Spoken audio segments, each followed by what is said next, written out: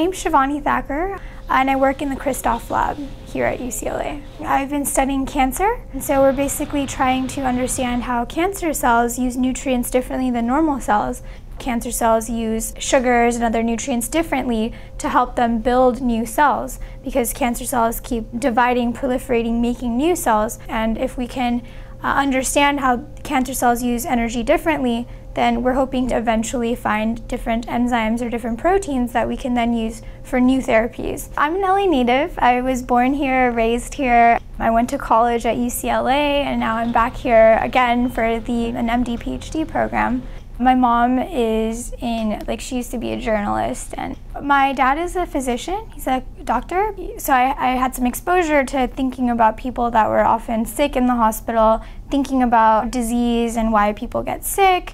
I realized that while medicine, and we have a lot of treatments right now for different kinds of diseases, there's definitely so many diseases that still have no cure. And so I think that understanding made me think about pursuing a career where I felt like I could help push forward new treatments, new therapies, and have a way to contribute to the field as part of a team. One of the biggest draws for me in being a scientist is the ability to ask questions about the world around us and then be able to devise experiments to do different things, come up with ideas that we can test these ideas. I'm really interested in the human body and different diseases and why cells behave a certain way in different diseases and why do they act differently or not you know, listen to normal signals telling them to stop to grow in cancer. I think it's really exciting to be in an area where you can actually ask questions and have these questions and have an, an ability to actually answer them yourself in the lab.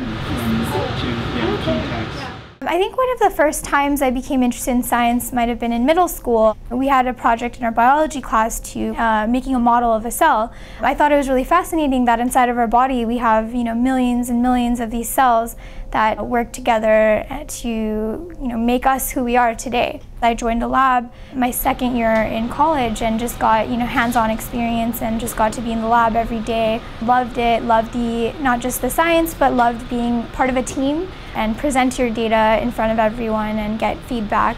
And I think that whole process was really exciting to me. And it still is, and that's the main reason I want to be where I am today. So lab life is very different than people might think. You might think of someone going into the lab and just, you know, sticking to themselves and doing their experiments. Our lab, everyone is very collaborative. We all talk to each other from the moment we come in. Uh, we're friends. Like when we have a bad day, our experiment doesn't work out, we talk to each other and laugh, like, you know, we'll, we'll sympathize with each other. When we're really excited about some data or something we found, we can also just, you know, step right around the corner and just talk to someone about it, which is great. And we're all kind of in this together and that we're you know, we're studying similar things and trying to meet a similar end goal. My career goal or my major goal that um, I'd like to get to is to be able to help patients both as being a doctor because I'm going to medical school as well, and also performing research outside of the clinic and really helping push the field of whatever disease or whatever the science field is. I would highly encourage people to get involved in research or in a laboratory as early as you can, even as early as high school. You don't need to be math whiz or anything like that to do science. I think finding the right mentors, being proactive about it, and just looking for research opportunities where you can actually get your uh, feet wet into what exactly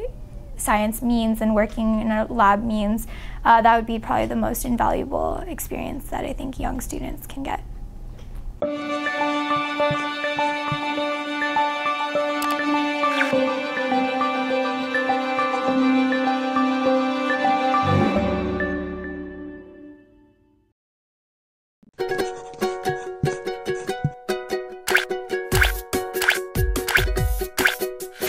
you